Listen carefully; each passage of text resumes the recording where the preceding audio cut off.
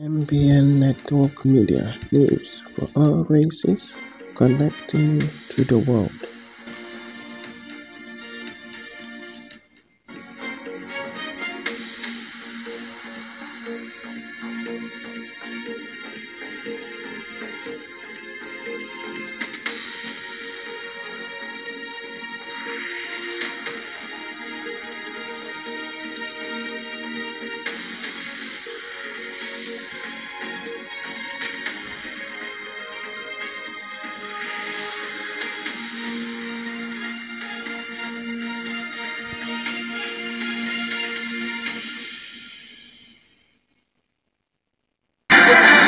Inside FCT Abuja with NBN Network Media.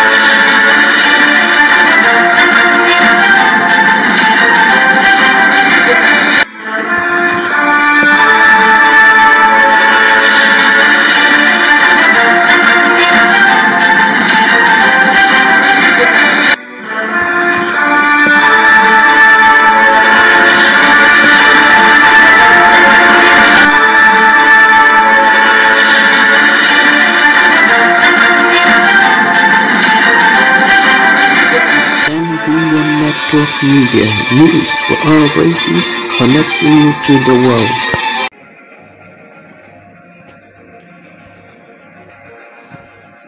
Yeah, so this is how sometimes you start your day on a very easygoing note. It is 24 degrees centigrade here in Abuja, and of course, business is going on. Uh, well, of course, not probably not the word hustle and bustle. They do a difference here, just in case you're wondering. I, I know somebody's about to rub it in. Oh, but in any ways, um, Here we go again. Love me, scenery. Uh-huh. Here we go again. It's good for your mindset. Absolutely. I love the city. That's Jabi Lake, by the way, with everything that comes with it. Kado Estate is somewhere There are around offices there. around it as well, just so you know. Offices are around here as well. The massive business section around, uh, up and around that lake there. Well, that is the beautiful scenery, our beautiful, peaceful city of Abuja. And uh, looking forward to a wonderful, calm morning. Uh, no doubt, this is a beautiful sight to wake up to any day and any time. Chamberlain, I, I still remember, you know, the day we had to. You took a section of this particular um, location for a quiz, and there was a Yeah. struggle. Even the person sitting next to you, I'm not mentioning anyone's name. The person right there in the studio with you identify where the Now, this was is the unveiling. this is the full unveiling of the area. So I didn't mention anyone's name, just just so you know. I didn't mention anyone's name. Hey, so but right now I know that the weather you have there in Abuja is something in the region of 27 degrees, feeling like 30, with a 77% humidity. It's not too far from what we have in Lagos at 28 degrees, feeling like um, 33%, of 28, 33 degrees, but our own humidity is a little, uh, a little more than yours at 87%. So, beautiful one. Welcome, everyone. Yeah, so it, it's uh, quite interesting. So much later in the day, you get to get that 7 27, you know, but right now, uh, that 24 feels like 27. And so, well, I, I I know by now, you know, when they say, come to where the flavor is. Hey, Aya. Are you coming to where the flavor is? As I was saying, if, if wishes were horses.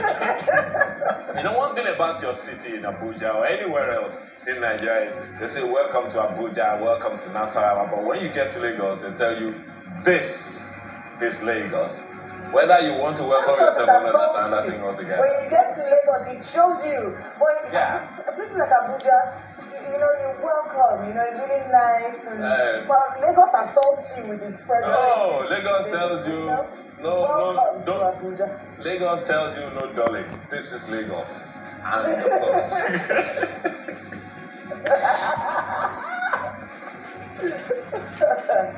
Lagos, are going to Yeah, so- you one day. I mean, uh, you know, the thing about that, about this country is that there are lovely places in this country that you and I don't even haven't seen for a while. And if I haven't even ever seen, until you see them and you feel, wow. So you, so there are. Sometimes you need to look at all of those areas. Of course, while you go about your regular business as you try to build the country, uh, the one that you know uh, generation to be happy to live in. But yes, indeed. So um, this morning there seems to be some unfortunate scenario in Lagos. Yes, Chamberlain. Um, I was in traffic for about two hours uh, before, well, a little over, over a little over an hour before getting to the office this morning, and you know that's very much unlike me. So a trip that would take me something about say 15 minutes took me more than an hour, and I'm wondering how far back the traffic tails now. Unfortunately, what happened there was a horrible accident. This particular one. This was taken of course much earlier in the day, and the traffic I ran into just before bus stop. But I wonder where how far back it tails now. You can see it's right before, right in front of World Oil uh, fuel station. I'm wondering how far back it is now. When I when I got back and look at it, it's, it's like there's a small vehicle right under this big trailer truck um, right there, uh, and I, I saw it must have involved like three different vehicles because I also see one of the luxury travel buses. Uh, when I was uh, when I got through uh, from the traffic to come to the office this morning, I know that there are officials of government there. LASTMA and not notice LASTMA officials are there. Of course, this is the luxury bus that was that, that is that uh, also involved that traffic. Horrible, horrible traffic.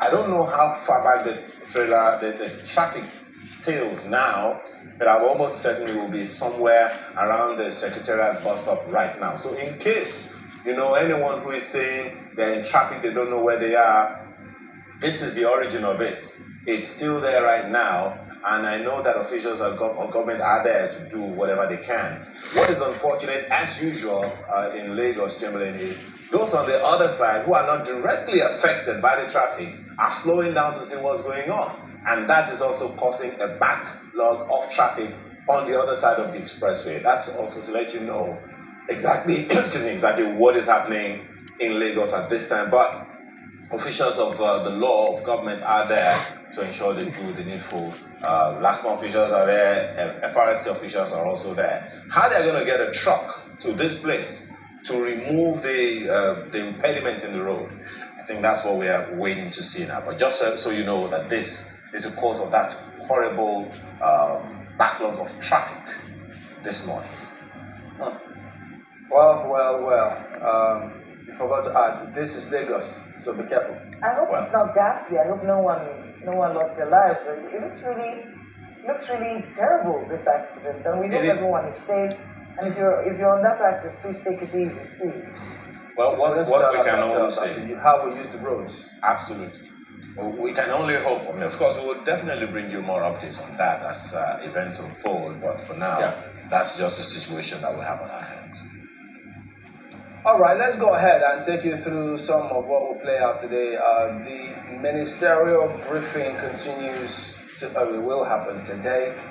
Uh, it's about the a year in office of this administration. So you've got the ministers of FCT, Youth Development, Housing and Urban Development, Transportation, Aviation and Aerospace Development, scheduled to brief this morning. So uh, they're supposed to be there and ensure that um, Nigerians get to hear what have they done in the last ever since this government came through. So all eyes will be on them today.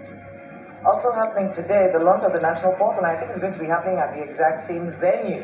Uh, launching of the national portal, gov.ng. Uh, and of course, uh, this national portal will provide this single gateway to government services, and it will be um, enabling citizens, home and abroad, to easily access and register marriage certificates, national ID, your name, uh, registration of birth, apply renewal of driver's licenses, uh, apply or renew your passport. So that uh, that portal is going to be launched today. It's one gov, right? One gov.ng. One gov.ng. So uh, it's going to be launched today. We'll be keeping you informed on, on what uh, all of that is about in the course of the day. And it's, it's going to be a very interesting one because I want to be able to do this at home. I don't want to be going to the office, standing on the queue you know, I don't want to do that anymore. So we'll be keeping our eyes on that one. Aya's got business for us. Yeah? No, before, before the business bit, yeah. um, so I think today's also the. Oh, by the way, about this launch. So when that happens, uh, the narrative we heard for those of Nigerians who are usually outside the country who want to access some of these things is they get all kinds of impediments that the missions lay or place there so they need to find a way to ensure that we don't constitute as impediments to ourselves if this is launched. So it's supposed to be one gov, right? So let's not make it two or three with those impediments. Just one stop shop. But some people always want to make sure that no, there must always be another layer. It shouldn't be this easy. Why should it be this easy? It shouldn't always be that way. And it's also National Museum Day uh, today as well. Yeah. And I thought, when last did anybody go to any museum though? Oh, well. We should go. So, There's so many. Yeah. So, um, Ayo. Yeah, well, you, you will go to a museum if there is one next door. But hey, right now we're going you know to what? have business. Go, okay, let's just hold it. Um, we'll, we'll go to we'll go to business now. Business this morning will be assessing CBN directive on BDCs uh, concerning license reapplication. Find out the details of that this morning uh, during business morning on Sunrise Daily. Before you go on and on, Kayla, let's go to the papers.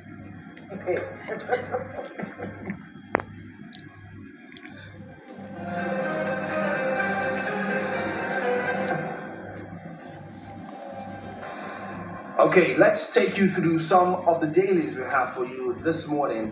We're going to start with Nigerian Tribune. The lead story one year in office. Economic pains, hardships, unintended, ascribed to federal government. Ministers apologize to Nigerians say Tinubu laying foundation for nation's growth.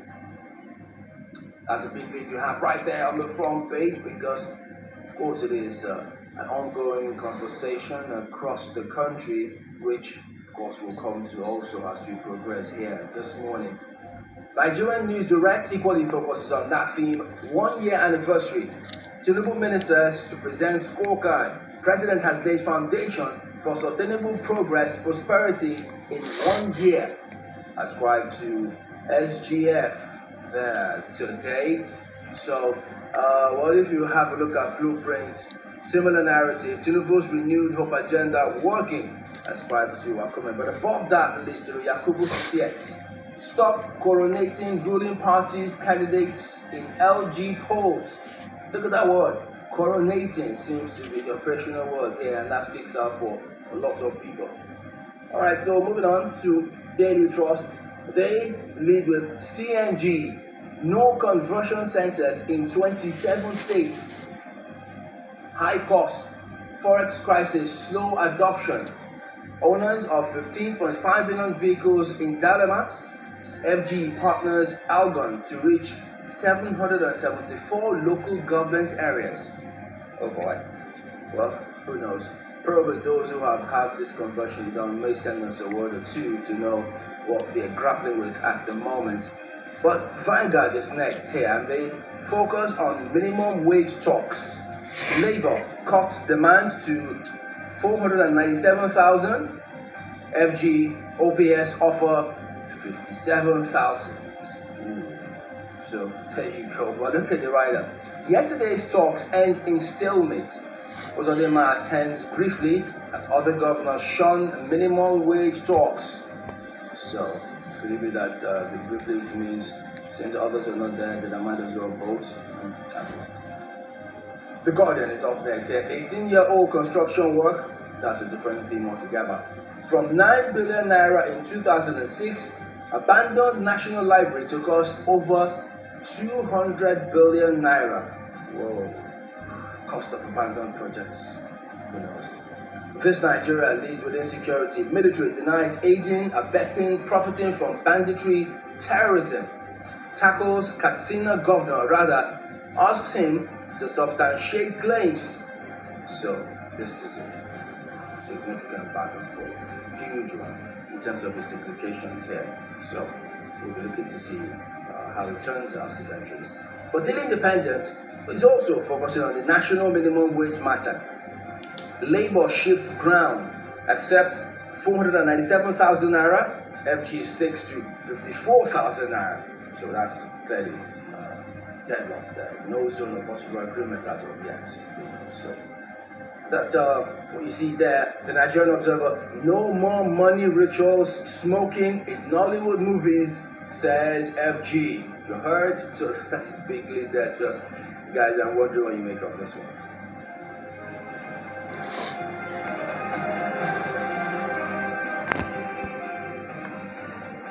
Okay, so I know we got to run, but uh, look at that news, new telegraph, guys. LG polls, mayor coronation of ruling parties candidates ascribed to INEC. So, isn't this what we've been talking about all the while? So, who knows? In fact, look at this. It says that sometimes they just constitute the SEC on the eve of election, then disband them afterwards. That's impunity. You said the list that goes on in some states. But how is it that nothing can be done about it, or we're not doing something about it? Something can be done, but other tribes seem to have chosen to look the other way. But you know what? It's up to you and I to decide if we want this to continue or not. Because this is, it belongs, this country belongs to us. So we should have our say, not just our say, our way, for the most part. Because the right things have got to be done. Shiriti what stands out for me uh, from the Vanguard this morning. Um, so this uh, this dance between Labour and federal government. Uh, well, Labour has shifted. It's going to continue like this uh, to 497,000 naira as the minimum wage, and federal government is offering 57,000 naira. Um, this dance will continue until some kind of solution is reached. But you know, it's pertinent that while we understand these negotiations are going on, that the Nigerian is suffering. It's a very important point to make and a very important scenario for us to be very conscious of. These demands, for the Nigerians out there who are thinking, look, look, look, we cannot continue, look, these demands, listen, it's important that the worker is able to survive. You can't kill the worker. If things are hard, if inflation is up, if everything is costing three times more, then we should be able to handle that. These are some of the questions out there. That's why many people feel, you know, a lot had to be done before these policies of government were made. But these policies have, have been made already. Now we have to be able to make sure that the Nigerian survives. And that is why these negotiations are going on. And they will continue until some logical conclusion is reached. Well, my pick this morning, and that's uh, quite an important thing that you raised there, Kayla. Well, my, pick, my take this morning concerns the image of Nigeria anywhere in the world. So I am very excited about what I find on the front page of the Nigerian Observer this morning when they say no more money rituals or smoking in Nollywood movies, says the federal government. Well, interestingly, it was the statement was made at a national stakeholders engagement on smoke-free Nollywood, and it was in Enugu. What I find interesting about this one is it concerns the image of Nigeria. It is the narrative we want people to see that they will see. It is the narrative we want anyone to see in the world about Nigeria that they will see. But while the statement has been made by the federal government, the question we also want to ask is how is the federal government encouraging the movie makers to get on with this that they have made a pronouncement about? Who is even monitoring the quality or grading of Nigerian films. We know that there is a National Film and Video Censors Board, but do they censor indeed? or are they just looking out to tax? It's just a question. So whatever their answers are, please provide. But it is exciting that this is coming from the very same uh, video, film and video censors board, uh, the, the CEO of the organization. So how is government going to support Nollywood? That should also be put out there. How should um, everyone who is a movie maker get any access to government or any government intervention? I know that the federal government has this team, had this team led by Alibaba at some point concerning the creative industry in Nigeria, and I'm glad that the federal government recognizes them.